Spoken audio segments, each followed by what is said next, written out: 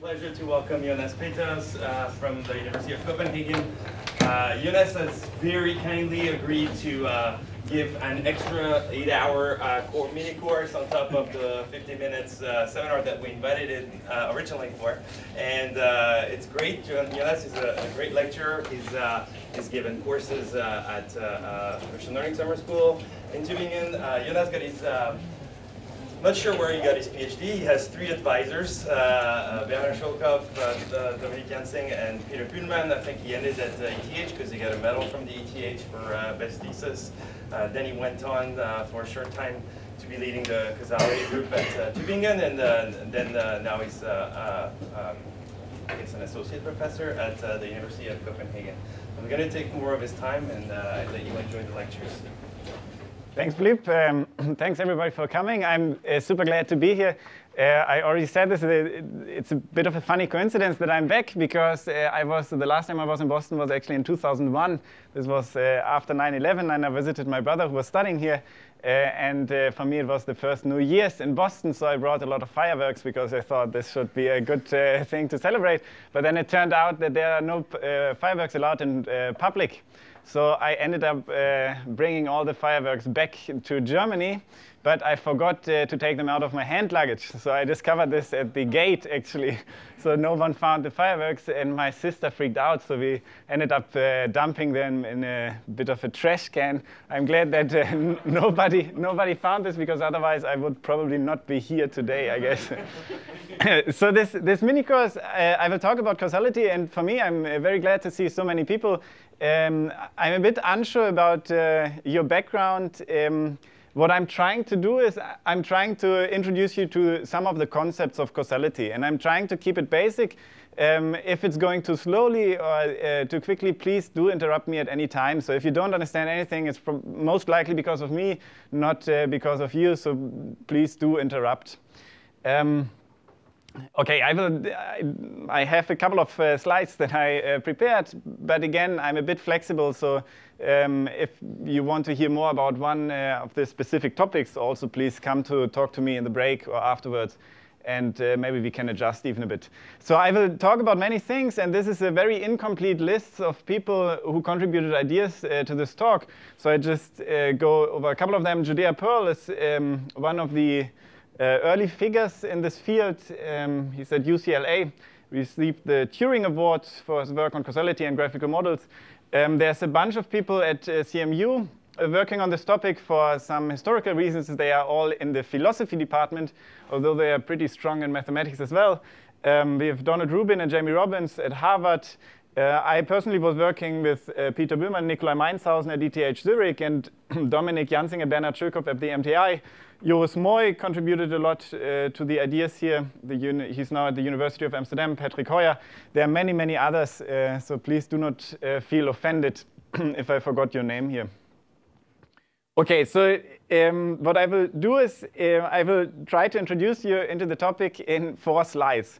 And if you take back anything from these eight hours, uh, or whatever it will be, uh, please let it be the first four slides. They are quite important to me. So they describe uh, the essence problem of, um, of causality. So consider the following problem. So we have data from uh, some uh, genes. So let's say this is some measure of the activity of a certain gene A. And we measure some phenotype at the same time. So think about the flowering time or something. What you see is that there's a dependence. So the more this gene is expressed, so think about a log expression level here, the more um, the gene is active, the more of the phenotype you find. The question is now, um, in statistics, the question you're answering is often a question of prediction. So it says, well, now assume that you, for example, observe that the activity of this gene A lies around 6. What is then the best prediction for the phenotype? And this is a problem that we have studied for many, many years in statistics and that is well understood. So you have all these prediction techniques here. You can use a linear model if you like. And then you, you, the answer would probably something like, well, if the activity is around 6, then you expect the phenotype to lie around 15. In causality, however, we are addressing a different problem. And this is very essential to understand. So here we are asking the, the question as follows. So we are saying, well, now what happens if we actively intervene on the system?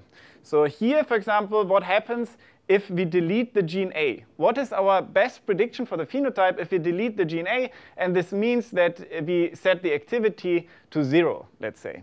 So here. Would you have a stronger laser? It's a little hard to see.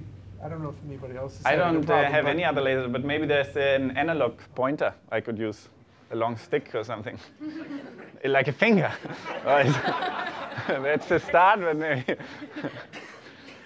Okay, so here the question is, what is the best prediction for the phenotype if we delete the gene, so if we set the activity to zero? And this now is a very different question.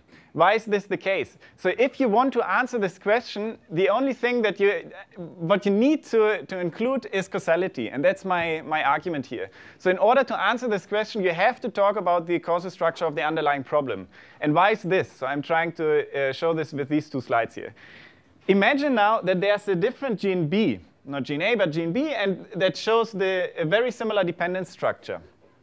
Now what we will see is that depending on the causal structure, the answer to this problem will be different.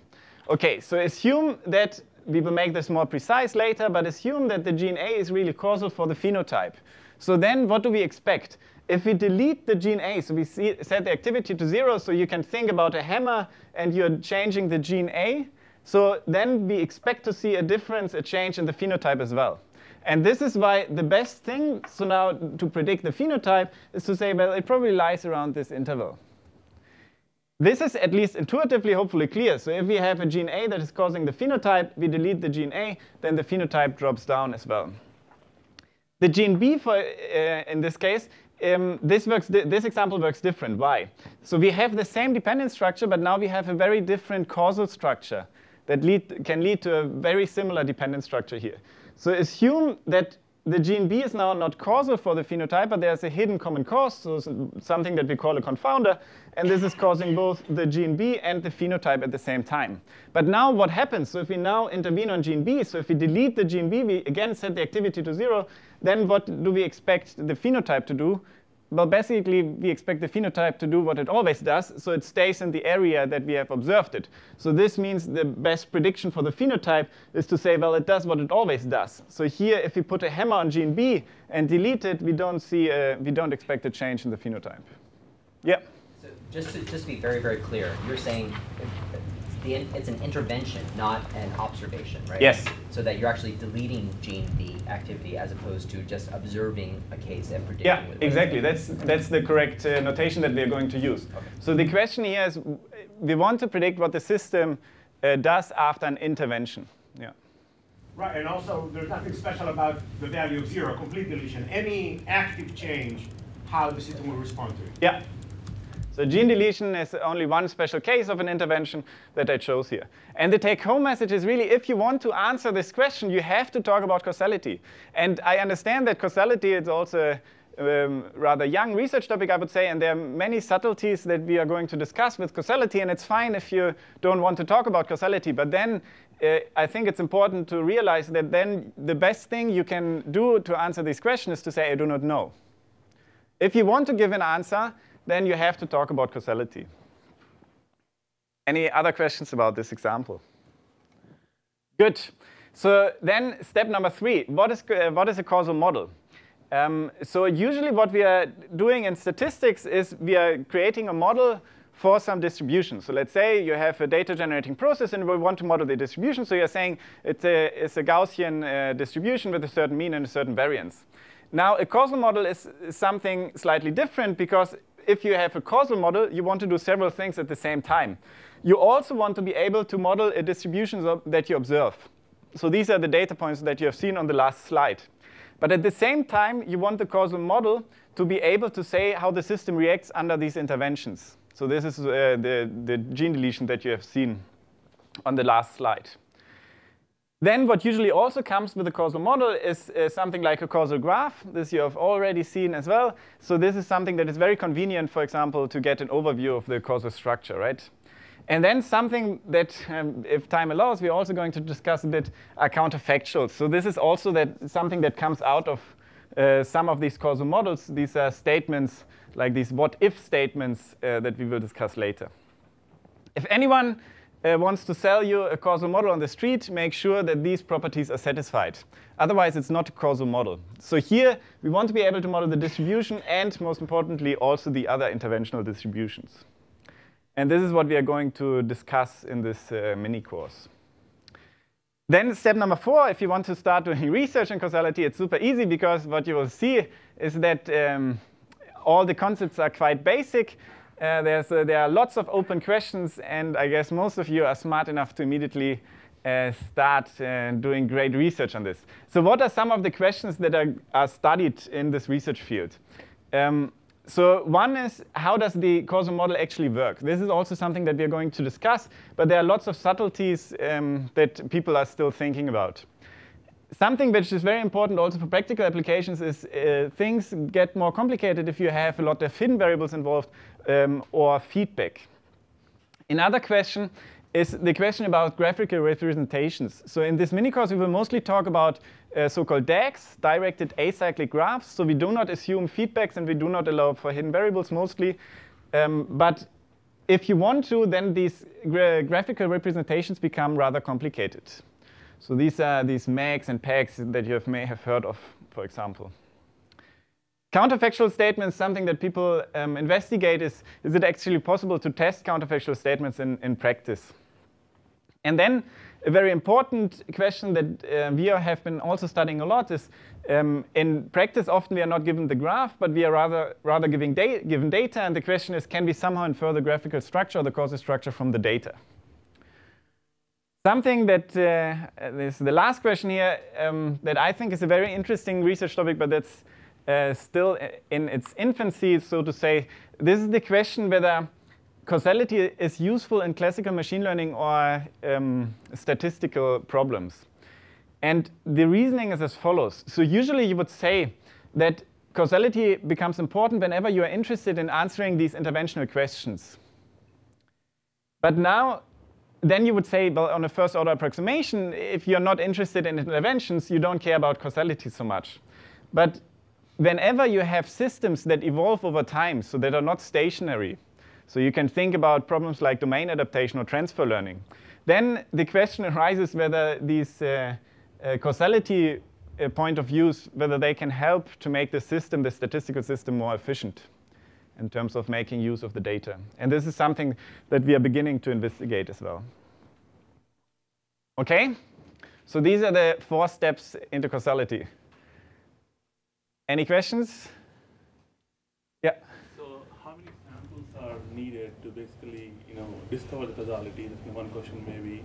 And what is the computational complexity in actually uncovering the causal structure? Okay, so the question I repeat is uh, how many data points are needed to uh, recover the causal structure? Um, and what is the computational complexity of the methods? So this is something um, that is, of course, a very difficult question to answer. So uh, what is causal discovery? So you're referring to this question here. So we are given some sample from the joint distribution, and we are trying to recover the causal model. And of course, this, uh, um, this question now, I would say, is not well posed yet, because what, you're, what we are going to see is that this step backwards, so recovering the causal model from the distribution, um, or from, the, from a sample from the distribution, this is only possible under further assumptions. And this you can think of, there's an analog actually in statistical learning theory. Um, so it's very similar in statistics because there you also have that if you're receiving data from an underlying distribution, then to recover the underlying distribution is only uh, possible under smoothness assumptions, for example. So if you think about a regression problem, uh, if you don't make assumptions about the smoothness of the uh, function that you're trying to learn, then of course uh, you will also not be able to, to learn the function. So this certainly has to, to play a role in there. And then the, the second question that I think uh, we should discuss as well is like, do the assumptions that we make in order to um, get this link from the distribution to the causal model, do they, do they hold in practice? So these are the questions we maybe have to answer first, and then I can point you to some results that uh, look at statistical efficiency. Yeah? One thing, it might be encapsulated in some of this, is the question is, what data would be most useful in order to infer? What data would be most useful in order to infer the, the causal structure? Exactly. Um, okay, so this, this all goes to the sort of the, uh, the second part of this, uh, this mini course. Again, it's the, uh, the question about inferring the causal structure. So a short answer, so maybe what I should say at the beginning is that this research field is uh, still rather young, and I will present to you some ideas how to do this step. How can we learn causal, causal models? And what I would say at the moment, what I think is most promising is if you have actually a, a system uh, that evolves a bit over time, that changes. So we call these different environments. So it is possible under some assumptions to learn the causal structure from just observational data. Um, and I can show you some uh, of these ideas, and they have some promising results on real data, but it's a very difficult problem. I think you gain a lot if you, some, if you somehow have a perturbation of the system and you don't even need to specify how the system was perturbed. But I think this helps a lot for learning the causal structure. The second point is, the second answer maybe is uh, that uh, time series structure also helps a lot. Because whenever you have a time series structure in, the, in your system, you at least know that time probably is not, uh, the causal errors are probably not going to point backwards. So if you have a measuring system that measures like one step at a time, at least then you can sure if you find causal errors, they should always point um, forwards in time. This also helps.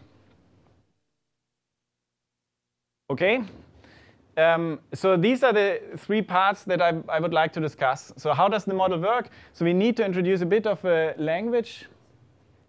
Okay, thanks. So we need a bit, uh, we need to introduce a bit of the language, and then we are discussing these questions that you were referring to. Can we infer the causal graph structure? And then at, at the last point, I would like to discuss these uh, machine learning questions. Good. If, if, there's anything else that you would like to talk about, again, please approach me in the break. This is one, one picture that I would like to show you as well. Um, so what you see here on the bottom, even this is stronger, a bit, huh? Okay, I still use the analog pointer maybe. So what you see here is the, uh, on the bottom is sort of a classical statistical setting. So what you do first in statistical 101, I guess, or probability theory, you start with a probabilistic model, and then you are, um, do what we would call probabilistic reasoning. So you're saying, well, if I get a, a sample, uh, what is the distribution of the mean, for example, if I have 50 data points? Then statistics or statistical learning now goes in the other direction. So there you would say, well, if there is an underlying probabilistic model that I do not know, but that I want to infer, how do I do it? So I get some observations, and then I want to infer something. I want to estimate a parameter, for example. I want to infer some property of my underlying probabilistic model. In causality now, things are slightly different. Why? You can do sort of a, a similar uh, graph here. So you can say, well, we have a causal model, and now the causal reasoning would be to say, well, we don't only make statements about observations, but we also make statements about uh, changes and interventions. Now, if you want to go back, this is something that we discussed. We would we usually call causal learning or causal discovery, or some people would call it structure learning. So we are given some data, and we want to infer something about the causal structure. So we're going backwards. So it looks like there's a, a correspondence to the usual statistical world. But there's one crucial difference, and this is as follows. Usually in statistics, if you're given an infinite amount of uh, data points, you're done. So if you are interested in a, in a parameter, let's say the mean, and someone gives you an infinite amount of data points, you just read it off. So if you are given the full distribution, you don't have to do anything anymore. And this is different in causality. Because in this step, even we will see this, even if you have an infinite amount of data points, this step does not become trivial. So even if you have infinitely many data, it's still a question, well, what is the underlying causal structure? And you have seen the, the example at the beginning with the data points with the genes. It's not a question of like how many data points you see. I can give you as many data points as you like both of these distributions could have been produced by two different causal structures, which mean that they would make very different sort of statements about what happens under interventions. And in this uh, mini course, mostly due to time, I will, like it, mo for most of the time, I will not talk about the finite, uh, finite sample setting, but I will show you sort of the ideas. I will, in many cases, I will just discuss, well, what happens if you have uh, knowledge about the full distribution. And then, of course, you have the full statistical machinery you have on top of this. Does this make sense? Yeah? Observation, do you, are you thinking about like time series here or just? Um, this doesn't matter. So this is more general. This can have a time structure or not. is actually, so I will, the causal models I will introduce are not regarding time, but this is, you can write them down immediately, I think, um, by yourself. There's, there's no um, conceptual difference to including time. Good. So I will start with a couple of examples. Uh, some of you may have uh, you have, may have seen before. This is by now a classical one, but it's still one of my favorites. So this is a study from 2012, and what you see here is the chocolate consumption in kilogram per year per person for different countries. And then on the y-axis, you see the number of Nobel Prize winners uh, per 10 million. And there's a very strong correlation. And uh, what you see here, what I think is nice is that sort of Sweden is an outlier. This should make you suspicious. And uh, the, the other one uh, that I think is interesting is that uh, the Swiss chocolate seems to be much better than the German chocolate, and at least it tastes better as well. But here, of course, I mean, the question is, well, this is a dependent structure. What's the causal structure? And you may have seen these examples before. It's quite funny to see that immediately you get like uh, statements like eating chocolate produces Nobel Prize winners. There's studies. This from confectionarynews.com. Maybe uh, should be taken with a grain of salt. Uh, but this is, of course, the reason why I brought chocolate for Philippe as well. So we can try, we can do the experiment and see whether it really helps. you, you find the, the other uh, direction you find as well. So here on Forbes, they say chocolate uh, a Nobel Prize in Studies, so they say geniuses are more likely to eat lots of chocolate, uh, which is uh, claiming the other causal direction, which of course is uh, probably false either. But we will have a look at the data set later.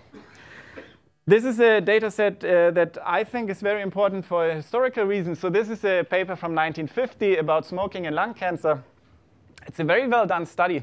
I recommend uh, looking at this paper. So where they found the dependence between smoking and lung cancer. And uh, this is uh, some data that you see.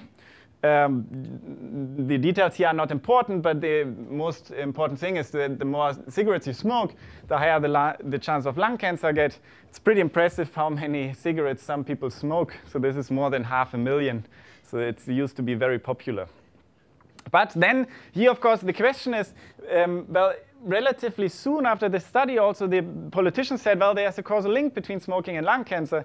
And here you really do have the same problem, right? Because this study doesn't show it. So here they said, well, smoking is causing lung cancer, so we should introduce a um, tobacco tax um, in order to reduce the lung cancer. But the tobacco industry, of course, said, no, no, no. So there's a dependent structure, but it may be due to a hidden common cause that we have not measured. And this was for historical reasons, this was a super important example. And it's really the question, how well, how do you find out whether there's a causal link or not? Look at this example as well. There's another study um, that was a Nature publication. So here, what you would find is there these, I don't know what you call them in, in uh, English. So some children apparently um, are afraid in the darkness. So what you do is you put some light bulbs into the plug, and then it's like almost daylight in the, in the room. And the study found that whenever you have these night lights, um, then you're more likely to develop, as a kid, you're more likely to develop myopia, so short-sightedness. So here, the more light you have, the more myopia you get. So now what to do with this study, of course, the authors didn't want to claim causality, so then they write something like this. Uh, the strength of the association does suggest that the absence of a daily period of darkness during childhood is a potential precipitating factor in the development of myopia. So you, of course, don't mention the word cause, but you write, what is it, a precipitating factor, which means the same thing, but you haven't said the C word. OK, so what do you do? What do you do with such a study? Well, if you're a statistician, you can try to analyze uh, this. If you are clever, then you're inventing something like this. So this is a patent a nightlight with sleep timer. So this is basically something you plug in, and then it's like almost daylight. But then after half an hour, this thing uh, switches off, and it's dark again. And the idea, of course, is, uh, well, this helps because if I reduce the, the room light, then uh, the chances of uh, obtaining uh, short-sightedness decreases. And this is a causal interpretation of this study. Uh, we will see that this was actually not, not the case, but this is, this is again just looking at the dependence and claiming that it's causal. Here the question is, does the nightlight with sleep, uh, with sleep timer really help? This is an example that we will have a look at. Uh, this is also a very famous one. This is about kidney stones um, and how you recover. So this is something that is known under the name of the Simpson's paradox. Um, and we will resolve this, and hopefully you agree with me after this that this is not so much a paradox, but uh, rather just a question of causal, uh, causal phrasing. So what we have is we have patients with kidney stones, and we have two different treatments, treatment A and treatment B, and these are the recovery rates. So here you see that there were in total 700 patients, and uh, 350 obtained treatment A, 350 obtained treatment B, and what you see is that uh, it looks like treatment B is better than treatment A because the, the recovery rate is, uh, is higher. And now comes the magic. What I'm now showing you is exactly the same data set, but I'm providing you with more information. So you can, it actually turns out you can uh, classify the kidney stones into small stones and large stones. And I now show you the results on this, these subcategories. So for small stones, the treatment A was actually better than the treatment B. And for large stones, the same happened. So also there, the treatment A was better than treatment B. So here you can see, look at the numbers, they really do add up. So 87 plus 263 equals 350, I hope. So now this is known under Simpson's paradox. So how can it be? How can it be that in both subcategories treatment A is better than treatment B, but then overall it looks like treatment B is better? Do you have an intuition for this? How can this happen?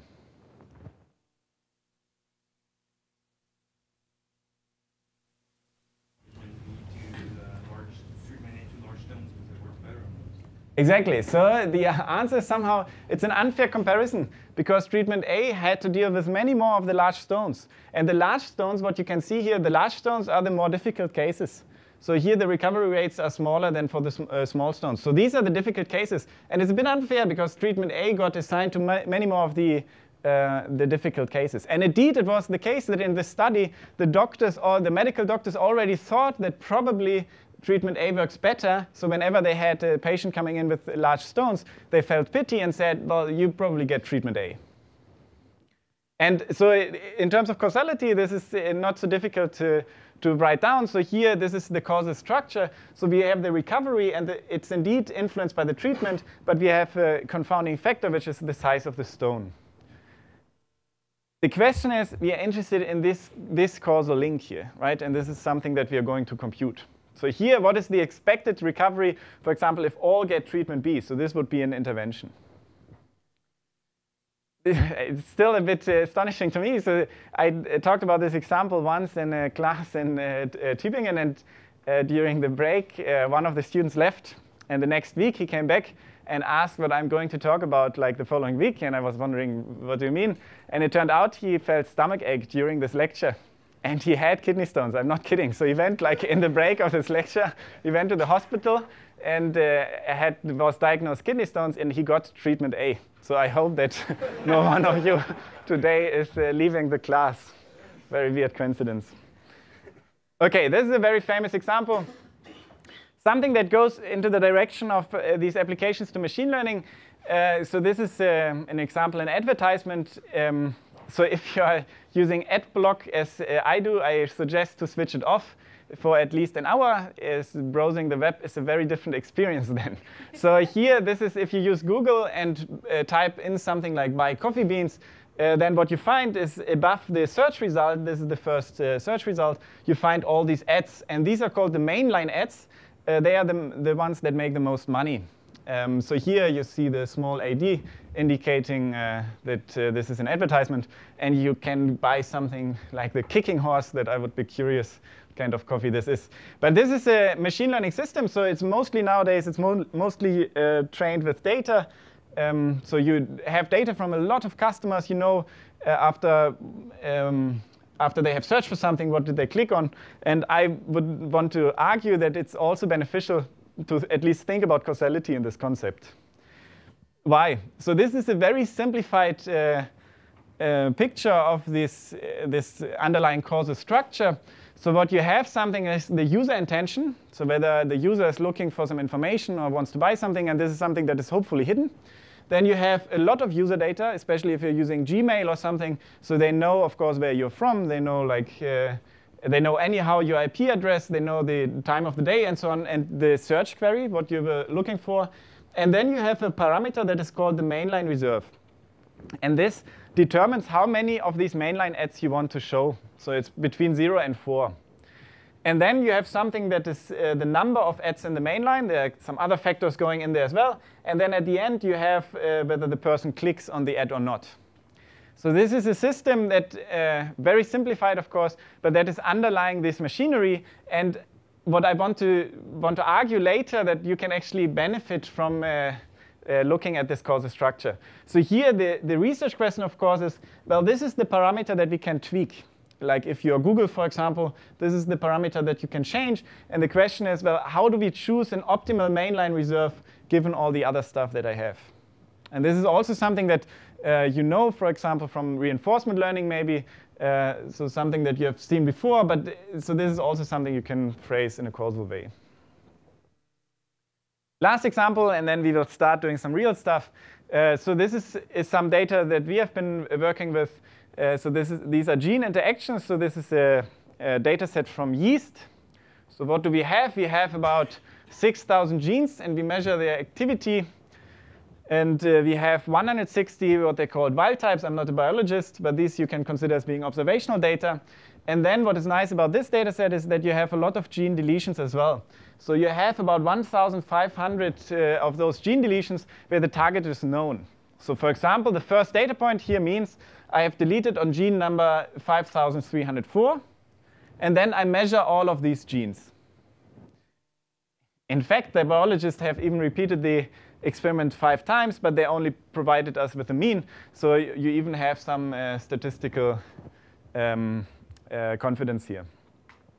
So now here, for example, you see one example for the observational data points. So here you see uh, two genes, uh, 5,954 and 4,710. And you see that there's a, um, a dependence between those those two. And here what you see is these are now all these 1,500 uh, gene deletions. So this is the, if you like, a lot of interventional data.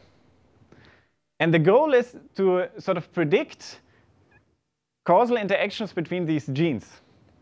So we are given the data, and we want to see, well, can we predict that, let's say, gene 17 is causing gene number 120? And something that we will make use of, and this is uh, something that may be interesting to see directly from the picture. So somehow these, these causal models, they have a stability guarantee. And what do I mean by this? So if you find a causal model, then what often happens, if you intervene somewhere in the system, except for the target, then often this dependence remains the same.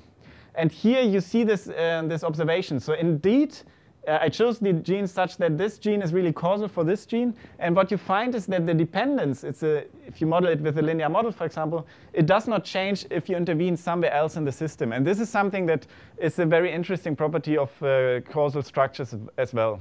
But, so we will use this data set mainly as really trying to infer some of these causal relationships. Would that be true if they're uh, downstream of one other gene that's causing both of them? They would, and that other gene is doing whatever it does. Yeah, but if you have something like this, so you have these two genes, let's say X and Y, and then indeed, if you now intervene on, on W, you can tweak the example such that the dependent structure remains the same. But now imagine you intervene on this guy. Then suddenly it's not stable anymore, right? But the points there, uh, maybe I didn't understand. The points that you're showing there are all these uh, perturbations combined? Or are you talking about in each deletion? No, you're, you're right. So these are these are 1,500 different deletions. These are very different interventions. Yeah. Right. So that one point would might correspond to a one outlier in that graph, but right, the, the deletion of z. You're right. Would yeah, but it's it's very unlikely that even if you intervene on this guy, then the dependent structure remains the same. I mean, I said you can tweak it such that, but usually you don't expect this. Because imagine that you have some variance that comes from a, um, from a different angle here, from a different part. And then if this suddenly becomes very large, then suddenly the dependent structure here is much stronger, right? Because this, this part, if this doesn't change, then these become much more dependent. Because then if this is very large, and this, this component is very large here, then the other component from, the, uh, from V that is independent of X doesn't matter anymore. So uh, what you, what you would get, so this, I mean, taking a bit uh, early maybe, but what you would find is that if you now look at the model where you sort of condition Y on Z and V, then it really doesn't matter at all where you intervene. So the conditional distribution of y given its parents, and this is what I mean by a causal model, this will really be stable no matter where you intervene. It doesn't matter. Whereas if you are not, like if you're not uh, sort of uh, shielding off by using the parents, then you won't get the stability.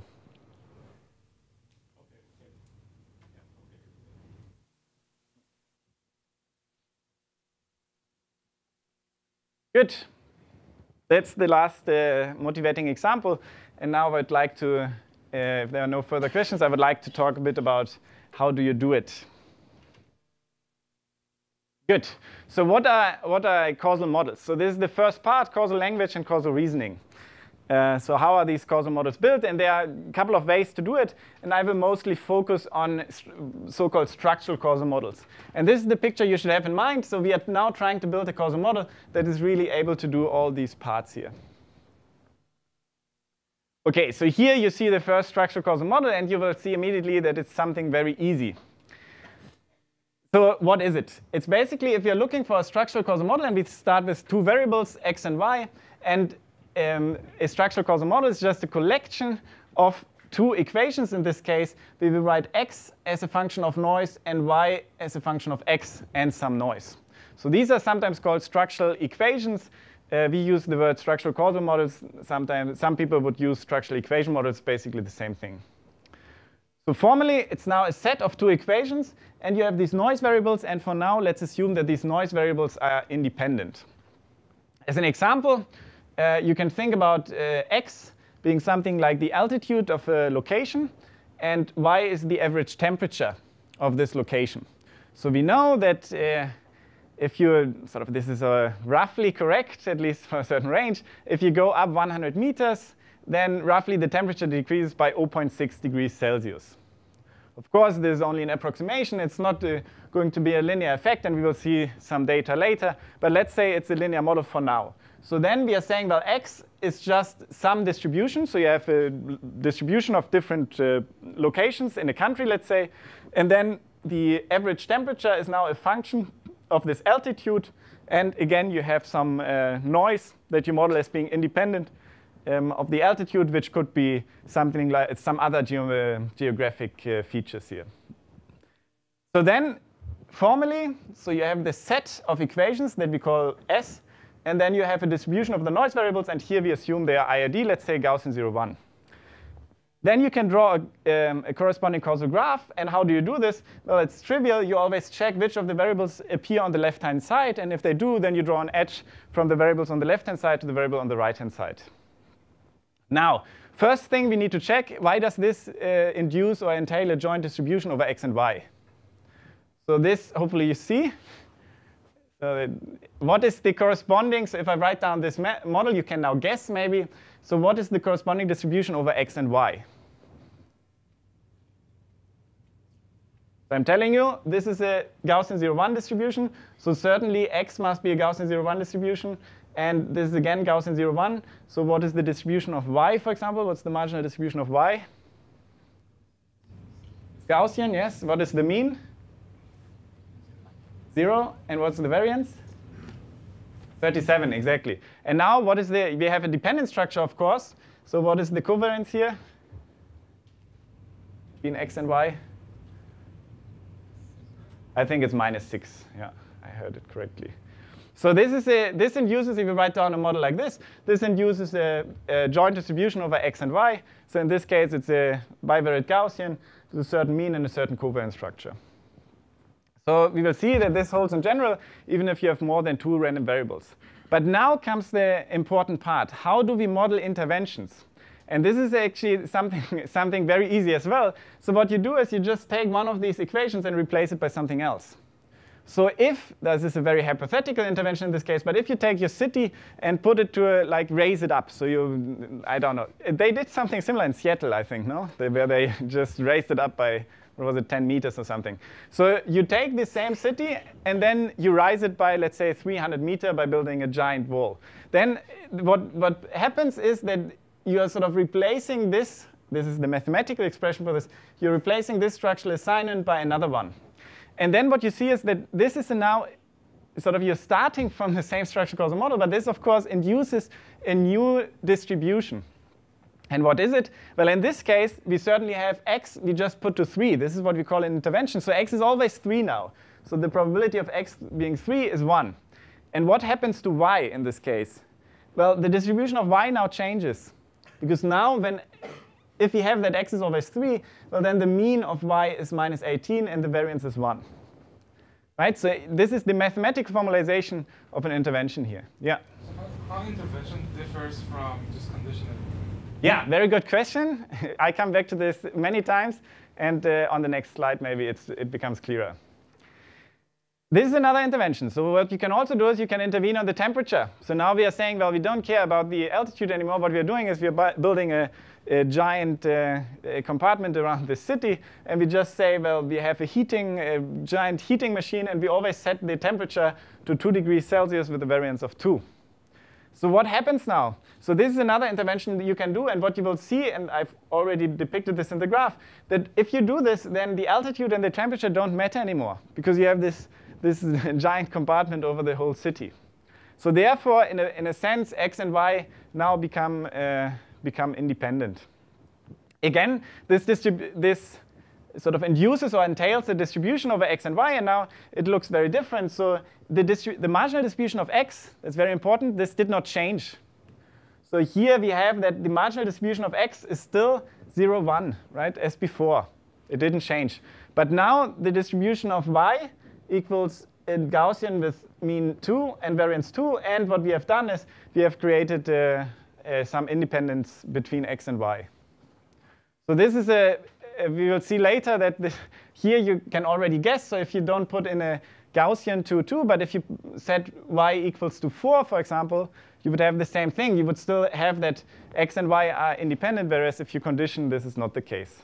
But we will see this uh, more clearly later. Okay, but here this is, I mean, it's a super easy mathematical process of interventions. But this is how we formally do it. Any questions? Yeah. Yeah, uh, maybe not kind of fully getting the picture here. So what I have is that I have basically a set of samples, like, you know, sample x1, y1, x2, y2, x and yn. Now, x and y are basically jointly Gaussian. Now, when they are jointly Gaussian, x is a linear function of y, y is also a linear function of x. So now I'm looking at the second picture.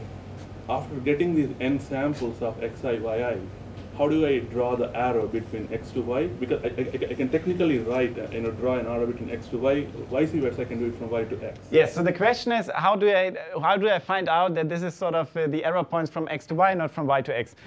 Two questions about this. One, you talked about sample. A sample. This is really about distributions. There's no finite sample involved so far. This is about distributions. It's not about a finite sample. So this is about building a model. What does it mean to be a causal model? So we will talk about samples very soon, but not, not now. The other question is, how do we find out whether it's a linear model from x to y or y, uh, from y to x? This is a very important question, and we will talk about this in the second part about causal inference. Right now, I'm giving this to you. So right now, in the first part, we assume that someone is giving you the correct structural causal model. And of course, we want to relax this, because in practice, this will never happen. But what we have to make sure is that we, have, we are able to like work with these structural causal models if someone gives it, uh, gives it to you.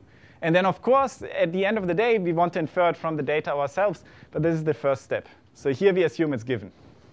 I mean, mathematically, right, writing y as a function of x or x or y is equivalent. But I think you are saying the notation here is important. The fact that in that equation you're writing x, that, that means that x is the cause of. Yes, so the, this is, so you can formally do this if you, but now we have the language already, no? So if you would write the same model, but now you uh, re replace x and y, so you're writing x as a linear function of y, then you have a model that you, you can, it induces exactly the same observational distribution, but it would induce very different interventional distributions.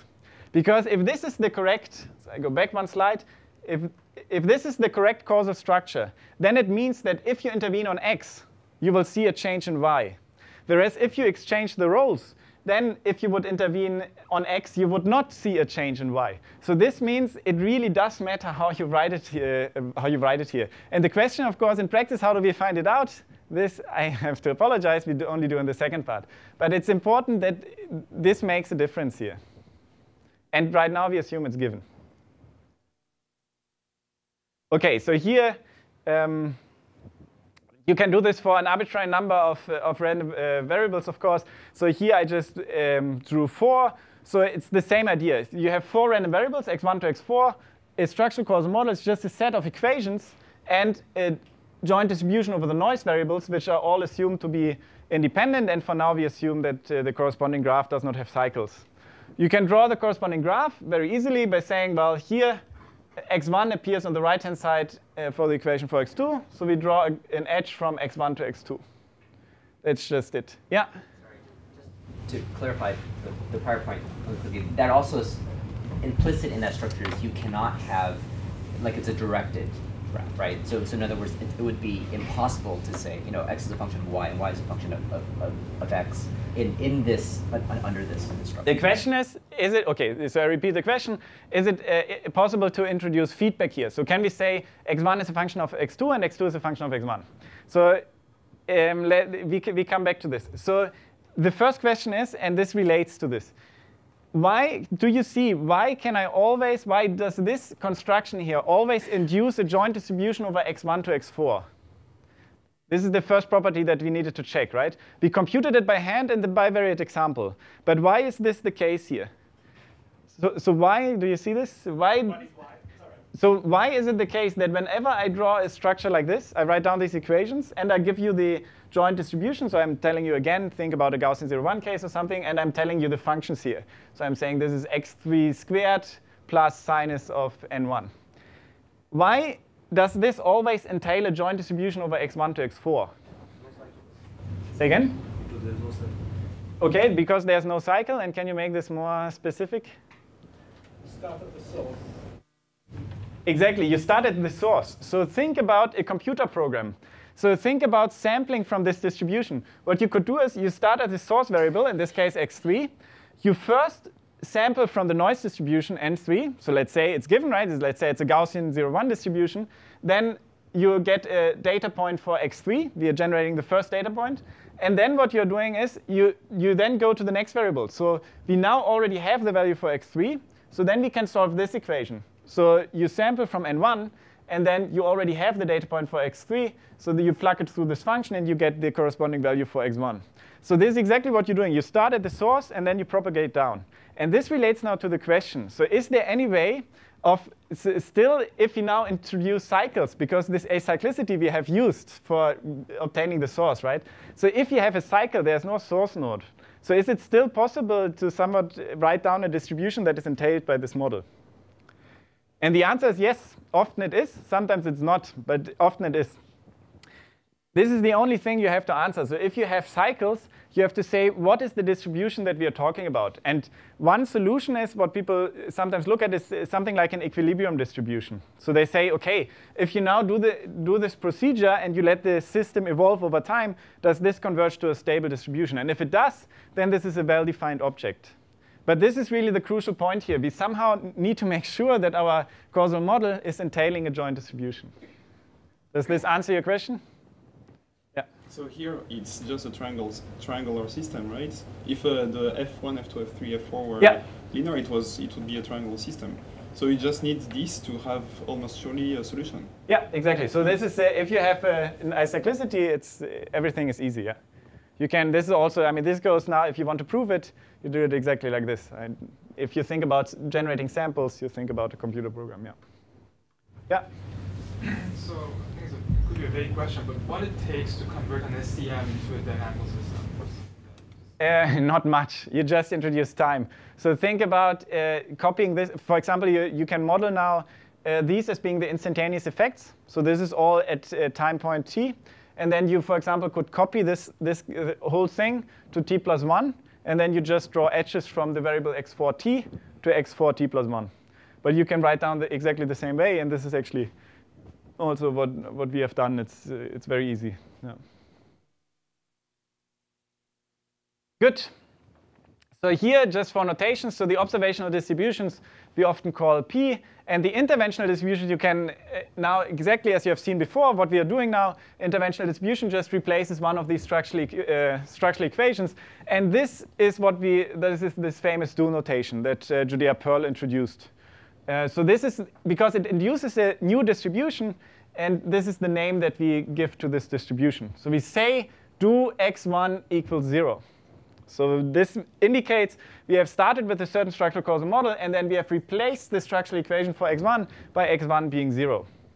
And I go back one slide because here what you see now is if you put x1 0 to 0, think about the computer program. Before, x1 was depending on x3, right? But now it doesn't depend on x3 anymore. We just always set it to 0. So what you get is that this arrow here, this edge disappears. Okay, you can do many other interventions as well. So here you can, for example, intervene on uh, x4 and set it to 13, and then you would call this uh, do x4 equals 13. And now I'm coming back to the question, well, is it the same as conditioning? It's not. And this uh, I would like uh, uh, sort of to make clear here. Think about this system and, and think about these all being linear sort of equations. So x2 is just a linear function of x1 plus some noise or something. And let's say it's a positive linear function. Now I go back to the original SCM. Imagine now that we know that x4 is very large. It's like 2045. What does it tell you about x1? It increases the chance that x1 was also large, right? Or maybe x3 was large, but something had to be large. It's pretty unlikely that, that, x4 is very large by itself. So if you condition on the fact that x4 was very large, then probably one of these variables or these other variables have been large as well. So this propagates, this information propagates sort of up the graph. Whereas if you intervene, so now I'm setting, again, going to the intervened um, uh, distribution. So then the distributions of these guys don't change. Right? So now we are setting this to 13. This is very different from conditioning because the, if, if, you think about the computer program, these assignments for the, these three variables, they didn't change. Right? So they, they don't change, so they still have the same distribution. Whereas if we condition, this means, well, probably something was large, so the distribution changes. So this is why the do notation here, the do and the, the do distribution is very different from the conditional distribution. And this we will see a couple of times. Yeah? Consider assignments that are the form of constant? Uh, no. So the question is, do we always have to um, uh, consider assignments that are constant? The answer is no. So actually, the other ones are more informative. Uh, so we will, if you think about randomized experiments, this is just one way of looking at interventions. So there you don't want to set it to 13, but you want to randomize. So you're saying maybe you set it to 13 with a certain variance in the Gaussian variable or something. You can even, so if you think about this advertisement example, we were setting the mainline reserve depending on the user data. Now if we change the mainline reserve, we want to see, well, how does the system perform? How many clicks do I receive if I intervene on the mainline reserve? And of course, it would be stupid to always set it to 3, to always show 3 ads. So there an intervention is actually even more complicated. So there an intervention is even a conditional. So you're saying, I still want to condition on, let's say, the user data, but I want to condition in a different way. So this is also something you could do. So here you could intervene on x2, but still make it dependent on x1, but in a different way. So this is why these interventions are, are quite flexible. Yeah, and you use this in practice as well. Different in the, the, the notation that you have. So what is the distribution that uh, that we're talking about when you say P? Uh, either, either, either joint distribution or yeah, P is a joint distribution over x1, x2, x3, x4. Yeah. Okay, so it is, it is a joint distribution of all the variables when one of the variables takes one value. No, distribution is, if you like, it's just a, a measure, right? So this is just a, a, distribution on r to the 4. So this is just a measure on r to the 4. But the important point is that this is a different distribution now. Right? So if you do not intervene, you get a distribution that we call p. And if you do intervene, you get a different distribution. So here, for example, x4 can take many different values, whereas if I intervene and set it to 13, it always is 13. So therefore, it must be a different distribution. And this is just the notation for this new distribution. If you don't like it, you can call it p tilde but uh, I'm telling you it will be convenient later on to call it this way. Yeah. But so far, it's just a name.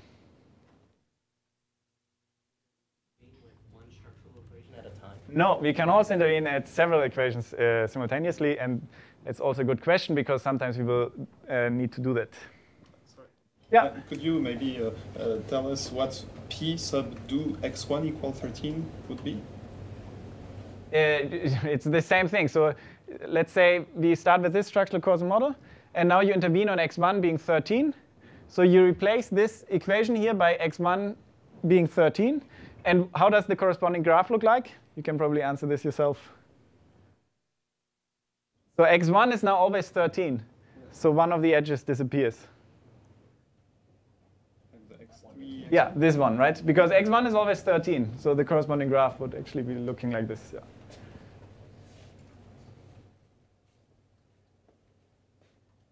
Um, good. I, I think we do a, a, short, short break, and then we look at a concrete example with the, um, with the kidney stones. So just five minute break or so.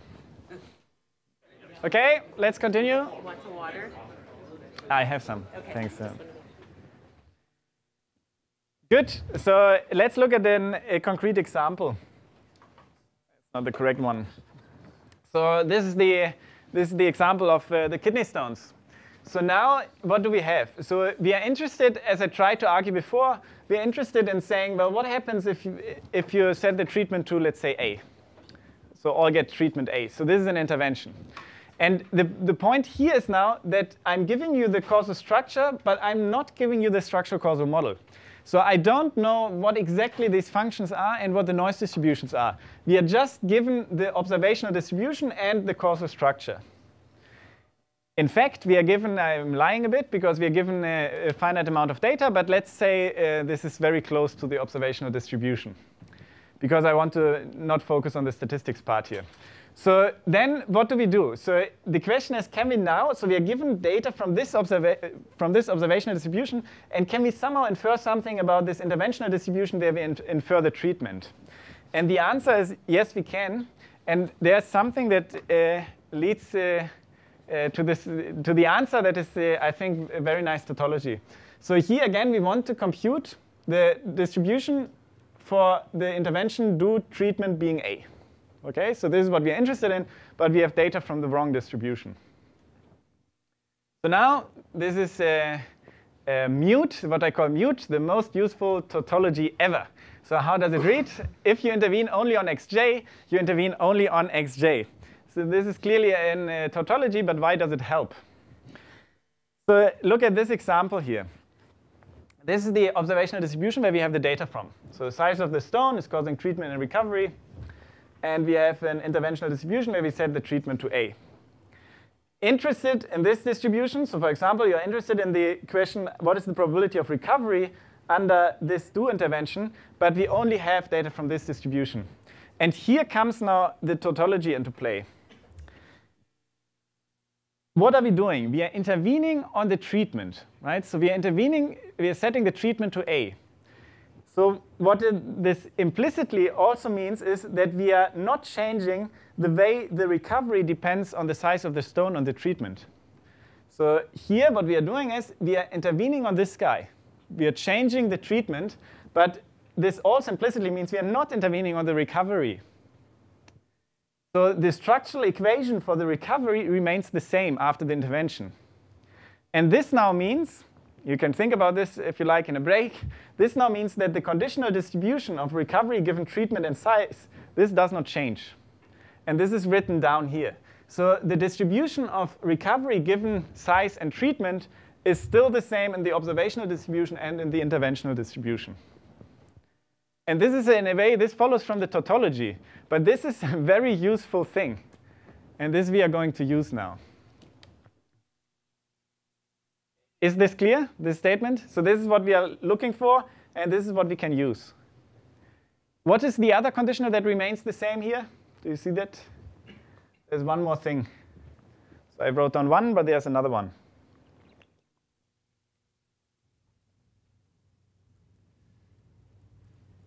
What about the distribution of the treatment? Of course, this changes, right? This is where we intervened. But there's one more conditional that remains the same. Do you see that?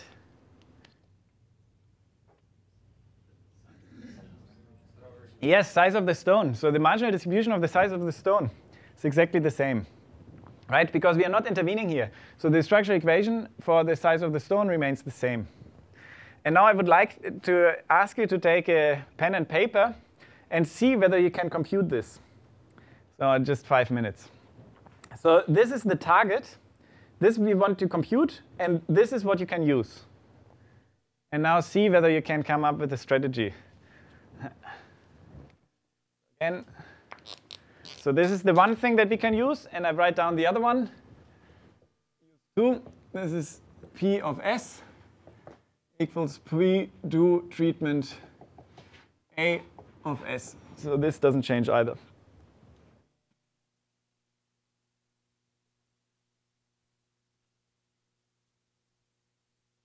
So now what you have to do is you somehow have to massage this bit to make it dependent on, like this is a distribution, right? Think about this as being p tilde. Now you have to massage this a bit so that it only depends on terms that are sort of looking like this and like this, because then you can transfer this to the observational distribution.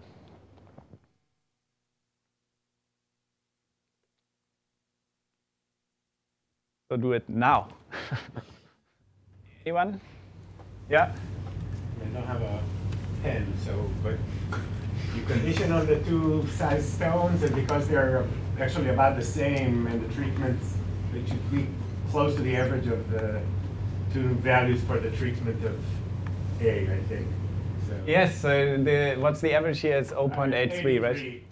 And that's even even uh, the right intuition without formulas and without pen. Uh, that's that's correct. Uh, we will see. If, shall I show you how to do it formally? So um, I'm always using the wrong one. So this is how you would do it. So y- this is the thing. I mean, the details here don't matter too much, but this is the thing that we want to compute, right? But we don't have data from this. We have data from the observational distribution, which is not the interventional distribution. And now we are using these, these nice tricks where we are saying, well, some of the things remain the same in both distributions. These are just these conditionals, right? So what you're now doing is you're trying to massage this formula to get something that is exactly look like what you, you suggested. So the first step, for example, is just to say, well, we now marginalize over S. So this we can do, right? And because t is always a, we can also add that t equals a, because this always happens in this distribution in, where we intervened on t and set it to a, right? Now the next thing is to just define the conditional distribution, uh, look at the definition of a conditional distribution. So what you're saying now, well, this is the joint, and this equals the conditional of r given s and t times s and t, the marginal over s and t. So now the next step is you don't have to copy this, of course, so I can put the slides online if you like. So the next thing is to say, well, get rid of this t equals a again. And then what you have is, this is the only important part here, we have an expression that, of course, still like looks as p do t equals a, so the, the interventional distribution. But now we can use our most useful tautology ever, because this guy here is the same in the observational distribution and in the interventional distribution. So we can replace these, the same here.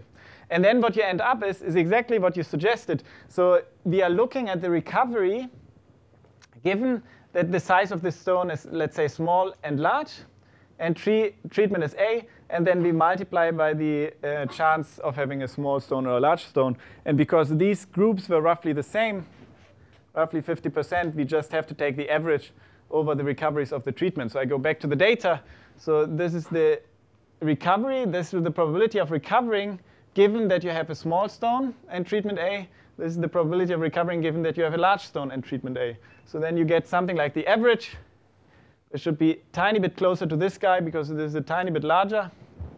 So this is why you get 0.832. Okay, and you can do the same thing for the treatment B. And what you will see is that, well, if you force the person to get treatment B, then the probability of recovery is 87%. So what does this mean now? This answers our first important question, namely, which of the ones is better? This is exactly what you want to look at if you're, if you're wondering which of the treatments is better, because you cannot just look at the data as it is, because it's messed up by these doctors assigning the treatment A to more difficult cases. So this is the question you're interested in. You want to, so if you have, if you are a patient and you don't know whether you have like a small stone or a large stone, you just have to decide, do I get treatment A or B? This is exactly what you're looking for. So you want to say, well, what is the probability to recover if I get treatment A? if I force myself to get treatment A or treatment B. And here you see now that treatment A is indeed better than treatment B, uh, treatment B. Yeah? Um, why do you need the causal framework for this? I mean, this is, if you look at the data, it's kind of, there's a confounder there, the way the groups were split, and you can Very good question. Why do we need the causal framework? Uh, very, guy, uh, very good uh, transition to the next two slides, I hope. Uh, so it turns out, so here, by the way, just as a reminder, because yeah, we have seen this already, this is different from the recovery given treatment A. This I want to stress right, once more, right? Because this means if you're given treatment A, so if you see yourself and you just don't think about interventions, you see yourself being in the study and you, you, you realize, aha, I got treatment A.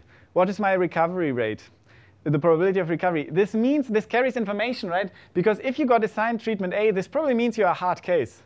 So this means that the, the recovery rate is lower, right? So this is here, it's a different thing to condition or to intervene. This is once more, you see this all over the place, but this I would like you to take home. So now, why do we need this causal framework? It turns out that this idea holds very general in a very general sense. And uh, this is the definition of what is called an adjustment set. So if you imagine that there's not the size of the stone, but there are like many, many other variables as well, then what we need to do is we need to adjust for them. And we formally we are saying, OK, we are given a structural causal model over x and y and some covariates w. And we are interested in the causal effect from x to y, very similar to what we have seen before. We're interested in saying what happens if like we treat ourselves with treatment A or B. So here this is the treatment, the x, and the y is the outcome, the recovery rate. And then we are saying, well, this is a valid adjustment set if we can compute this interventional distribution by what is called adjusting for z. So what we are now doing is, and this is sort of the averaging, right? This was the recovery like for treatment A, and we adjusted for this, for the size of the stone. So we took the average over the size of the stone. You can think about taking averages here. Again, you see this is different from just conditioning y on x. Um, because it would be the same if you would have another z given x here, but it's not. So this is really a different thing. So now the proposition is, for example, if what you, what you want to, ha to have is you want to have such an adjustment set because then you can do this what we just did for the example of the kidney stones in a very general manner. So you're given like data from the observational distribution and we can compute like the interventional distribution from just the observational distribution, right? This is like magic. We don't have to intervene at all. We just can, if we are given the causal structure, we can just read it off. And so this parent adjustment is the easiest form of uh, adjusting. This means that you can always use the causal parents of x for adjustment, adjusting. This is always a valid adjustment set for xy. Okay, so this is maybe even a bit more interesting, and we will see a more complicated graph in a second. Um, I want to say one word about adjusting in linear models. Mm. Okay, how do I do it? So in a way, this is a full distribution, right? And sometimes you want to see the difference between, if you want to talk about causal effects from x to y, for example, it, what you could do is you could always compare, you can always compare p of, let's say, y and p of y where you intervene on x. Right, so you can compare these two things, if you like. So, and if you see that these are very different, then probably x has a strong effect on y, right? So you intervene on x, and if you see there's a big difference between the, the distribution of y, so if y changes a lot, then you would say there's a strong causal effect from x to y. There's one way of uh, sort of summarizing this, and this is especially interesting in linear models. And how does it work? So if you want to just give one number, then what you can sometimes do is to do the following. So this is sometimes called the causal strength, or the causal effect from x to y. So what do you do? How do we define it? We are saying, well, how much does the expectation change? So this is like a one number summary of the difference between these two distributions. So what you're doing is you're taking the expectation, oops, sorry. You're taking the expectation of y. You are looking at this in this new distribution, do x equals x. And now what we are doing is we are taking the derivative with respect to x. So this is sometimes called the causal effect.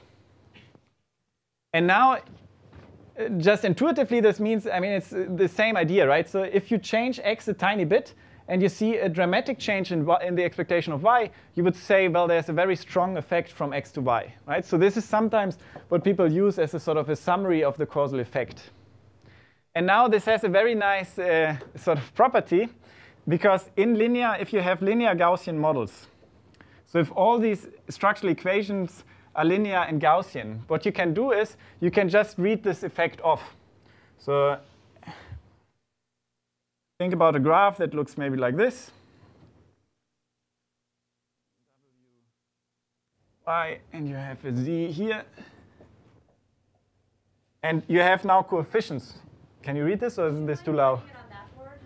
Yeah, I don't. Ah, I can even use this graph here. So if you have a, uh, a causal structure that like this, and now if all of these are linear structural equations in a Gaussian setting, for example, we have a coefficient here, 2, minus 3, 4, 1, 5, 7, minus 7. And now if you are interested in the causal effect from x to y, and now I'm talking about this guy here. So you can read this off from the graph. And how? You just multiply the causal graphs, the causal paths here. So there, in this, in this case, the causal effect from x to y equals 1 times 5, which is 5. And this is, a, in a way, this is intuitive, right? So we have another path here, but this is not really causal. We don't care about this, this path here, right? Because whenever you think about you intervene on x, you're changing x, and you're interested in how much does y change. And here you look at the change in the expectation. So what you see is, well, if you change x a lot, then what really matters for the change in y is this path here. Right? So you multiply 1 and 5. Any guesses if there's a second path? So what do you do if you have this?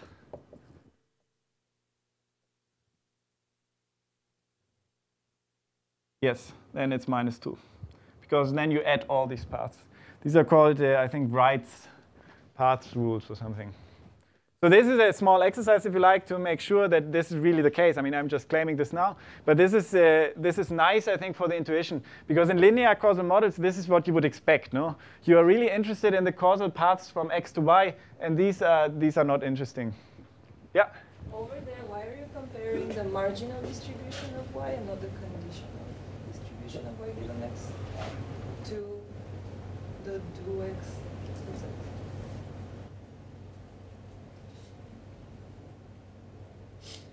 You can also do that, but in a way, I think you want to be. Yeah, I mean here, I mean this is a, here we are not comparing this anyhow, right? We're just looking at the intervention. But there's one thing that you want to maybe. This is now a hand wavy a bit, but if you have a situation like this, you want the conditional, uh, you want the effect from x to y to be zero, right? But the conditional really changes. So if x is large, then y is probably also large. So one has to be a bit careful there. I mean, it's possible. This is not, I'm not saying by any, any means that this is optimal. So there are many different ways uh, that one can choose this. Uh. But now, we will, come, uh, we will see like, that this is actually quite useful in the following sense. So these were adjusting, uh, adjusting sets, right? So now how does adjustment come into play? Adjusting, if you now are interested in so, sort of finding this finding this effect here. So this we can read off. But if you want to find this in practice, what you can do is you just, if you if you know that z is a valid adjustment set, there's another way of getting this, this number 5, or in this case, minus 2 here. And how does it work? You just do a linear regression. So this is the first way, is sort of looking at this path. And there's an alternative. Right over there.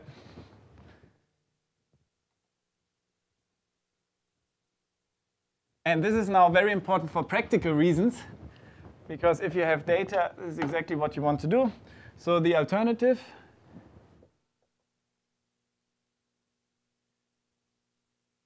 if Z is valid adjustment set, and this uh, proposition, for example, tells you one way whether this is the case or not, what you can do is Zx to y equals the regression coefficient for x in a linear model, y, you regress y on x and z. Okay, this is the same thing. And this is very useful in practice. So if you know that you can adjust for z, so this is a valid adjustment set, all what you have to do is if you want to find the correct causal like effect from x to y, you just have to include z in a linear model. So let's see, let's look at this in an example. Then hopefully this becomes clearer. So this is now a causal graph that is a bit more complicated. Okay? And we are interested in the causal effect from x to y. So how can we do this? How can we compute this?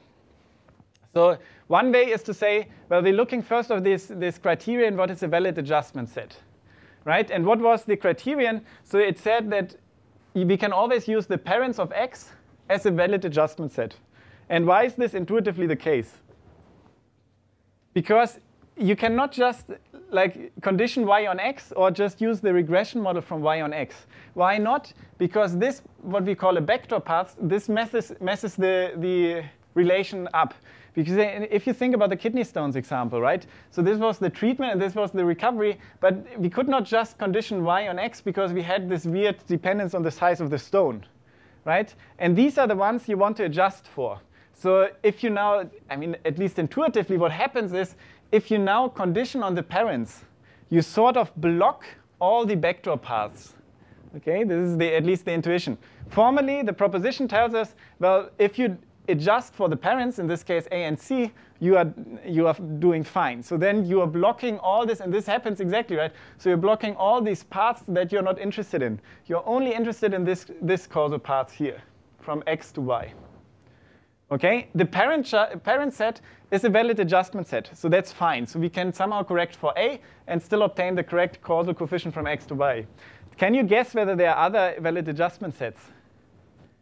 So somehow, I mean, is it really necessary to adjust for C? Somehow no, right? Because it doesn't really, I mean, A seems important because it blocks this path, but C somewhat doesn't matter. And there's a more general sort of criterion than the parent adjustment. This is called the backdoor adjustment. So what you want to do is you really want to block all these backdoor parts. So it's called a backdoor because it enters X through the backdoor, so to say. So we have seen that CA is a valid adjustment set. This is the parent adjustment, but I'm telling you without proof that you can also, for example, use K for adjustment. And you can also use F, C, and K for adjustment. This doesn't matter, it's all the same thing. And now this becomes a bit more interesting, right? Because what happens is that if someone is giving you this sort of causal structure, and you obtain data from this structure, and you're interested in the causal effect from x to y, you know, aha, I can adjust for a and c. But now imagine you are not observing a. So a is something hidden. A, you have no data about a. So then this theory tells you, aha, you can also adjust for k. So this is especially important if you have a lot of hidden variables and you need to adjust somehow like for this spectral path, but there's a theory that tells you exactly how to do it. And I just want to show you one example. So maybe that's, that's helpful. I mean, it only takes two minutes. So if you have um, uh, if you have now a linear model, you put coefficients on all of these edges. And let's say um, I now generate a data set where I have exactly these coefficients. So this is minus 2 and this is minus 1. And then we can have a look what happens. So what is the causal effect that we would like to recover? It's plus 2, of course, right? It's the product of these path coefficients. But in practice, we don't know that this is minus 2 and minus 1. We just have data. We just have data and want to recover this plus 2. What we are given is data and the causal structure here, the graph structure. So what you would do in practice is as follows. So hopefully this works now. So this is just a very small R program. So what I'm doing is, can you see that? Or is this too small? How do I make this bigger?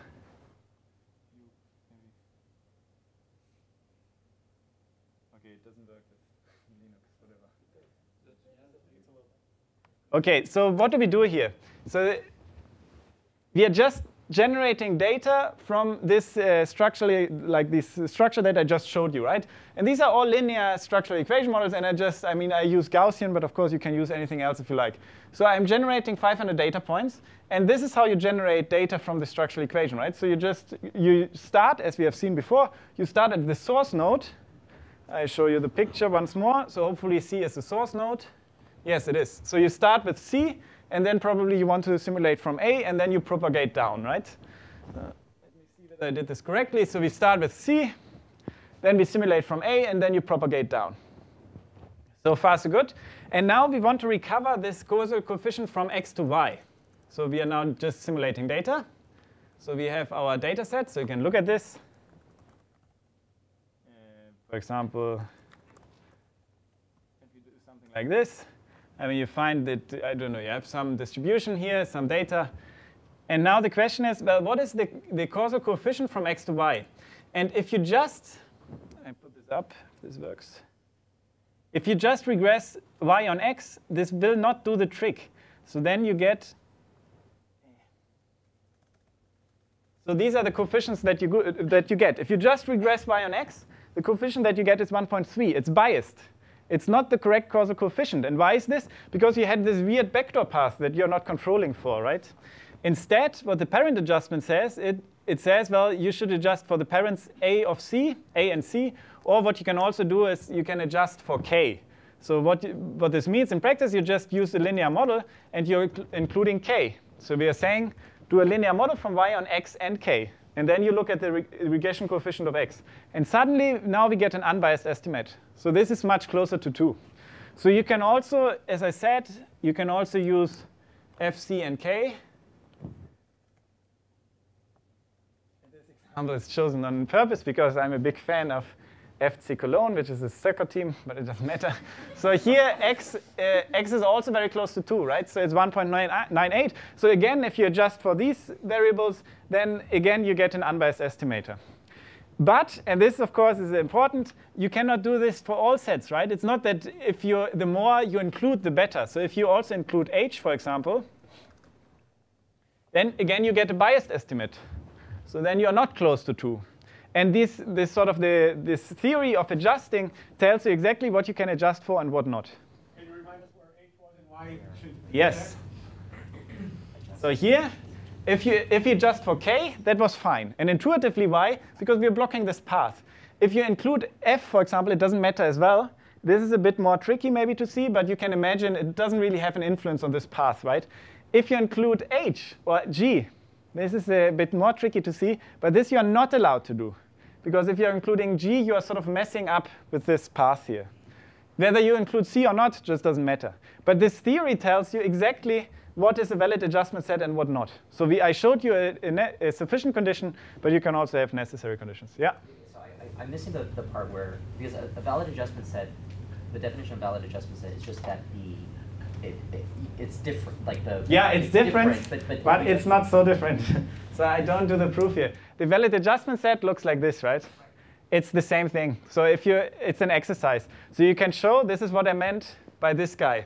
If Z is a valid adjustment set, then you obtain the causal coefficient by, this is the regression coefficient for X in a linear model where you regress Y on X and Z.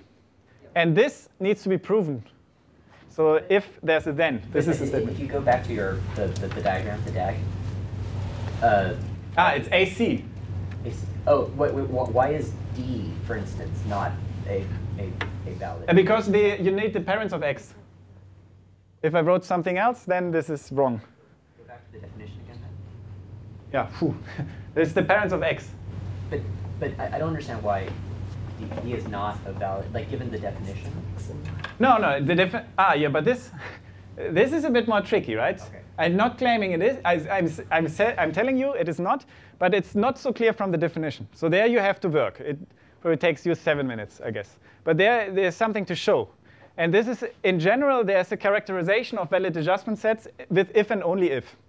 And it's really based, this, I think it's funny. I mean, you can, so we have uh, written a book uh, on causality, which is uh, going to appear uh, next door at uh, MIT Press. It's already online now, so you can have a look at this. And there we are going through this, this valid adjustment set. And what you see is that it really, it only is based on this tautology, on this mute, on this most useful tautology ever. This is the only thing you're only interested, you always have to see, well, which of the conditionals remains the same and which change. And then you can compute the if and only if condition for what is a valid adjustment set. And here you have to trust me that D is not. Intuitively, what you're doing if you're adjusting for d, you can think of something like conditioning. And when you condition, you sort of block the path that you don't want to block. You want to block these paths. But this is, I know this is hand wavy, it's not a mathematical proof, but the proof is really based on this idea. Then from a practical standpoint, if, in terms of, uh, if you measure the change in C of x, adjusting for different factors, does that give you evidence of where things may lie on the pathway? So if you, can you repeat that? If you're measuring the change in C of x? Uh, like C, like the, the regression coefficient, right? Yeah. So C x to x to y. If you do that when you're adjusting for different factors. Ah, this is a very interesting idea. So if you now compute the cxy, if you don't know, the, if I understand correctly, you want to say, if I don't know the causal structure, I'm computing the cxy, and then I'm doing this several times, and this may give me a hint about the structure. A very good point. I don't know. I, th I thought about this once, but I don't know about any uh, method that is exploiting this. But I think it's an interesting. Uh, I more than welcome you to look at this. I think it's an interesting thing. Yeah. There's one, uh, what we are talk, discussing maybe tomorrow or late uh, today, there's one method that comes close to this. It looks at these conditional dependencies. OK, so this is just the code. Now back to one example. And this, I think, is quite nice. Think you are in 1950. Think you are working for a tobacco industry. Now the politicians tell you, well, smoking is causing lung cancer. We have to put a, a, a tax on tobacco. So you're working for this tobacco industry. What do you say? Obviously, the first thing you say, this is rubbish. But then they ask you, what do you mean? So what do you tell the politicians? Lung cancer. the tax is causing lung cancer. OK. Uh, so you might get a bonus from the tobacco industry, but I think it will be a very small one. Anyone uh, like willing to get a larger bonus? Yeah. It's just correlation, so, but how do you may have to explain the correlation, right? So you explain this by this hidden factor, right? So what do you think it is? What do you claim it is? Socioeconomic status, very good. You get a, a medium bonus. No, it's a high bonus, but it's not the highest bonus ever. Why not? Because this, it's a good idea. So you're saying it's a socioeconomic status. But the problem is, by this idea of adjusting, right? So imagine this is socioeconomic status, so we write the dollar here. So what you now can do is if you're interested in the causal effect from smoking to lung cancer, what do you have to do? You have to adjust by this guy, right? So we know how to do this. So we are saying, well, we get data from this causal structure. Then what we can just do is we measure the socioeconomic status, adjust for it, for example, include it in a linear model, or use this formula that I've shown you before, and what you get out is the causal effect from smoking to lung cancer. And this paper has done a lot of this stuff. So if you read this paper, then they adjust for many, many things. They adjust for uh, like age and stress factors, for sex, obviously, for like where you're coming from, and so on. They always adjust, and they always see, well, there's a causing, there's an effect from smoking to lung cancer. Something else in the cigarettes that is not the tobacco, and you really can't adjust for it. okay, so you're saying, well, there's something else in the cigarettes. That's also a nice idea.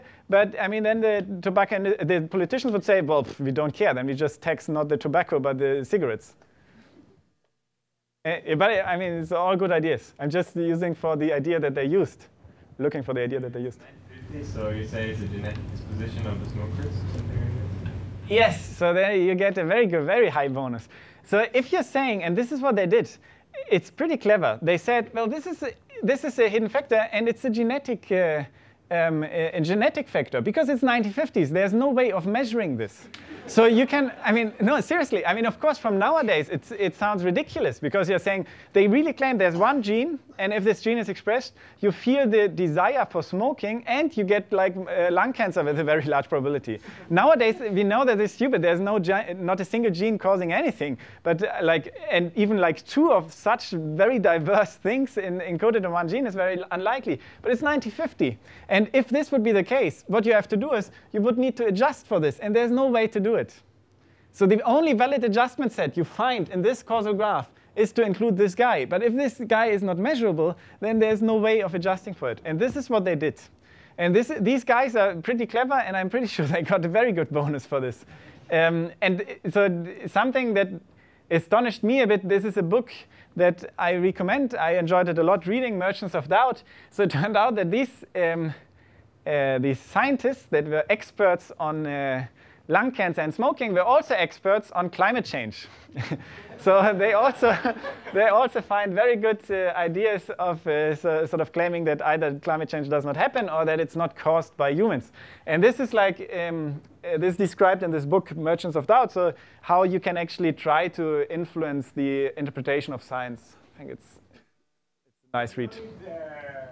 To know specific genes, to, I mean, you can ask in family trees about how heritable is smoking and cancer, and at least par partially address this. Yes, yeah, this is what they did. They also looked at uh, different, this, I mean, it's coming close to this. They did some serious stuff because this was a very important question, right? So they looked at, for example, populations in different countries as well. And there you can also say, if you don't have a lot of mixture, you can, if you see the same increase, like in two very different genetic population structures, uh, and then you can try to argue. But it becomes messy, right? It becomes very hard. Yeah. Good. Um, there's one last thing I would like to talk about um, uh, today, or any other questions about this example? The adjusting, is this roughly clear? Good, yeah. Just a comment, if I'm not mistaken, this came on the background of previous studies that showed correlation between lung cancer and soot, and like uh, in the air, I think in, in England. So there was a background unrelated to smoking that supported something like this. Yeah, also a good point. So what you're doing then is you're, I mean, you're go, trying to broaden your model class, right? This is what you have to do, and we will see actually in these so-called independence or constraint-based methods that this is something useful also from a mathematical point of view. You can argue why this is the case. Yeah. There's one more thing that I want to mention, and this is a bit maybe surprising that it only comes now because it's uh, so essential for causality. And this is the idea of uh, randomized studies. So it turned out that a couple of centuries ago, um, scurvy was actually a big problem, and uh, I read that in the 18th century this caused more deaths of British soldiers than any, enemy, any other enemy action. So this was a big problem on the ships, and James Lind, I think he was a Scottish medical doctor, he um, uh, conducted one of the first randomized experiments. They're usually what you often see is in these uh, randomized experiments, you see uh, examples from a different field. Do you have an idea what the Facebook and Google from like two centuries ago was? It was agriculture. So this is where all the statistician worked. But this is an example from the British Navy that I like. Uh, so what do you do? In a randomized experiment, and this is, I'm, sorry, I mean, you, maybe I'm biased, but I think this is really a genius idea. What we have seen a couple of times now is we have a treatment and a recovery. And we are interested in the causal effect from the treatment to the recovery. But then you always have to adjust, right? Because you have these stupid backdoor paths. It was the size of the stone um, in the example that I showed you. In many other studies, I mean, in the you have the chocolate. It's the same game, no? You have the chocolate and the Nobel Prize winners. The problem is you always have these hidden latent, hidden causes. In the chocolate case, it's probably something like the economic strength of the country or something. So rich countries are probably spending more money on uh, research and on chocolate at the same time. But you you always have these hidden factors, and you can try to correct for them, as it was done for the lung cancer study. But you never you can never be sure like that there's not another one that you didn't think of that you have to correct for or adjust for. Now, what do you do in a randomized study? I think it's really genius. So what you do is you randomize food, you randomize the treatment. So you're not distributing, like you're not observing anything, but what you're saying is you're throwing some dice. And then if the outcome is one to three, you get the treatment. If it's four to six, you, you get a placebo or not a treatment.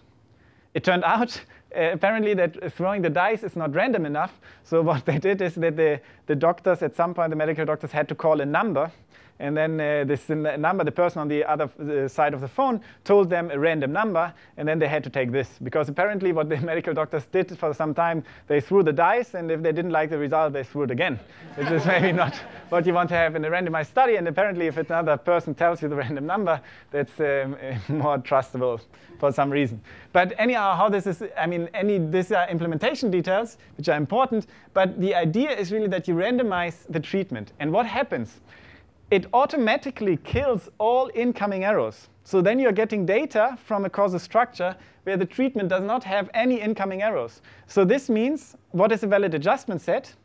well, the parent adjustment says it's the empty set. They, we have to use the parents of f. There are no parents, so food or the treatment. There are no parents, so we do not have to adjust at all. So we just run a linear regression, or any model that you like, from the recovery on the treatment. And this is, I think, it's really genius because no matter how complicated life is, if you have a way of randomizing this, then it's very easy to find the causal link. And this is what our society um, sort of makes use of nowadays. No, I mean, this, these are the randomized studies that we're doing in the uh, medical regime, which are like used everywhere. And these are somehow, this is, seems to be something that we trust. In formulas, this is like saying this. No, I mean, the, the distribution of recovery if we intervene now is the same as conditioning. Usually it's not. But because there are no incoming arrows into F, this is the same thing. So this is, we can just read it off from our data. So how does it do and how does it work in practice? So in this, uh, this was one of the first studies. So James Lind, what he did is he was on one of the ships. And then um, we can read this together. So on the 20th of May in 1747, I selected 12 patients in the scurvy. So there was a scurvy outbreak on board the Salisbury at sea. Um, so what they thought is that this is something like a, um, you need some sort of acid to cure it. For some reason, they didn't know uh, anything better. So what they did is they uh, distributed uh, sort of different treatments. They're all related to uh, to acid. So two were ordered each a quart of cider a day. Those were the lucky ones. Two others took 25 drops of elixir uh, vitriol. This is basically uh, sulfuric acid. So this, these were the less lucky ones. three times a day. Two others took two spoonfuls of vinegar three times a day. Two of the first patients were put on a course of seawater. Here you see that this is actually a bad thing to do. It's not a well done randomized study because you should not look at the, whether there are bad uh, outbreaks or not. And two others had each two oranges and one lemon given them every day. Aha! So they didn't know about the concept of vitamin C. This was not found yet, but those were the ones that got better, as you can imagine. The two remaining patients took an electuary recommended by a hospital surgeon.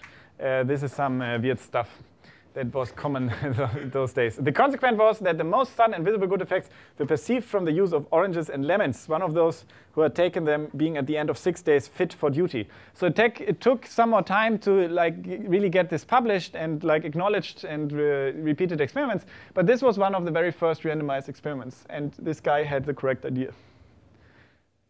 Any questions about this? Okay, so but is it clear how this randomized study, they fit into the picture? Important for me. Um, good. So there's one thing that is, this is only a side comment. It's also not important for the remainder of the, the mini course, but somehow this was important for me at some point because what you're doing now so far, and hopefully it will get better in the next sessions, but so far we are somehow working only on sort of in the math world, right? This is all mathematics. So we are defining a structural causal model. Um, we are sort of defining what an intervention is. We are defining adjustment, but this is all in math. And we somehow have to link this to reality at some point. So what is the cause in reality? And I think this notion is pretty useful. So if you have causal models, you can say that two models are called either probabilistic or interventionally equivalent if in the first case they have the same, they entail the same observational distributions, or in the second one you have to agree on the observational and interventional distributions. And this is a trivial definition in a way, but for me this is really important to sort of link this to reality. Because it turns out that it is actually, it doesn't matter what kind of interventions you look at. It suffices if you always look at interventions. We have heard that there are many, many interventions you can do, but it suffices if you only look at interventions where you randomize a variable xj and you put it to a fully supported noise variable. And this is the idea of a randomized treatment. So it suffices to look at interventions where you take one of the variables, like let's say the treatment, and you randomize it. So you put it to a random vari variable. Now this, I think, establishes a link to reality. Because in reality, we have a model, right? So this is not different from statistics. You're writing, you're writing down a model that somewhat describes the data generating process. So let's say you're saying this is a, you're claiming this is a Gaussian distribution. Now you're receiving data, and at some point you want, according to Popper at least, you want to be able to falsify this model. So what do you do?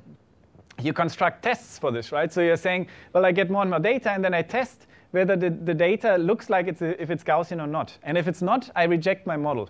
And this, I think, is very important for, uh, for science if you do it like Popper uh, thought about it, at least roughly. And here you can now do the same thing. So now we are not looking at a statistical model, but we are looking at a causal model, and we should somehow be able to falsify it. Otherwise, it's a bit of a question, what are we doing? What is the game we are playing? And here you can do this because we are saying, well, a causal model you can falsify now if you look at the data generating process and if the observational distribution does not seem to come from the model, then you can reject it. That's the game we have played before as well. But now what we can also do is we can link it to interventions. So we can say, well, if it's a causal model that predicts that something happens under a randomized experiment, and I actually perform the randomized experiment and I see the outcome is very different, the distribution of y is very different, then I would say, well, then it's probably the wrong causal model. And this link, I think, is nice that you only have to look at these randomized experiments. But this is really a link how you can falsify these causal models. I think, like from a philosophical point of view, that's important. Yeah. Sorry, just take one step back. In the uh, kidney stone, if that was randomized properly, then we wouldn't have needed to, yeah. to adjust. Yeah, so if the kidney stones would have been a randomized uh, study, then it could not have been that the size of the stone is causing the treatment, right? It would be completely random. And then you don't have to adjust. But in a way, it's an interesting uh, thought, no? Because if you already think that treatment A is better, it's a bit of a question whether you should randomize, right? Because if, it's there, if there's a way, it's a bit tricky, but if there's a way to say that it only depends on the size of the stone or nothing else, then we can actually adjust for this right? And then you save more lives at the end of the day. So you can, it's actually a trade-off during the study, how much, like, how many people uh, sort of get hurt or not. Yeah. But in, in some studies, it's very difficult to do because if you see the patient, then suddenly you would need to, to correct for a lot of, lot of things, yeah. Yeah? I mean, in, in cases of randomized trials, I mean, we, we, we may, there's still sometimes adjustment there. Yes. And, and that's, but that has more to do with like sample size and like Okay, so I mean, maybe two comments. So the question is, we still have adjustment in randomized trials. So one point that I don't address here, but this is of uh, utterly importance in practice, is the question of statistics, right? So you can adjust, but you have seen that the, the values that are got in the program, in the R program, they vary about two, right? So the question is, what are the correct confidence intervals there? And also, are some adjustment sets better than others? This I didn't address. The second question is, well, the randomized experiments sometimes you still need adjustment. And the reason is that it becomes, I mean, there are some experts on this, also not far from here. So Jamie Robins, for example, is working a lot on this. The, the point is they become arbitrarily complex somehow because often you have sequential treatments. So this is one effect. So you treat someone, you randomize, and then depending on the outcome, so maybe you, you don't see a result or you see like uh, certain side effects, you change the treatment later on. So then in these things, you sometimes need to adjust. Another problem that turns out to be very important practice is that um, some people, if they think they got the placebo, they drop out. So they stop taking it. And this is something you need to correct for. This is also, I mean, then in practice, you get all these, these problems. So therefore, I mean, this is a simplified picture, maybe, no? Like a very easy case, but this is a full line of research, if you like. Yeah. yeah. I'm just trying to reflect on your last definition. I wonder, so if you have a series of interventions where I have actually played with all these variables, can I actually infer the causal graph? Um, yeah. So the question is, if we have a lot of interventions, can I infer the causal graph? The answer is yes. So the simple answer is, or the simple way to see this is, imagine you have uh, intervened on all the variables. So let's say there's an underlying causal structure that is acyclic, and you have like you have 12 variables, and you have performed 12 interventional experiments. So then you see, of course, if I intervene on uh, x5 and I see 7 and 11 change, they must be downstream. No? But if like some others don't change, then I mean, if, if you know for every variable, which is like what other variables are downstream, then you can infer the structure. But it's, there exist much more efficient ways. And um, I may not be able to talk about this in this mini course, but on Friday we'll also talk about, in this uh, seminar talk, I will talk a bit about one of these methods. Yeah. Uh, good. Uh, I've learned that one should sometimes do visual breaks. This is my visual break uh, from Copenhagen, and uh, I think this is a very good uh, place to stop. I'm actually not sure when we reconvene, if you're interested. 2 p.m. 2 p.m. Okay, thanks for your attention.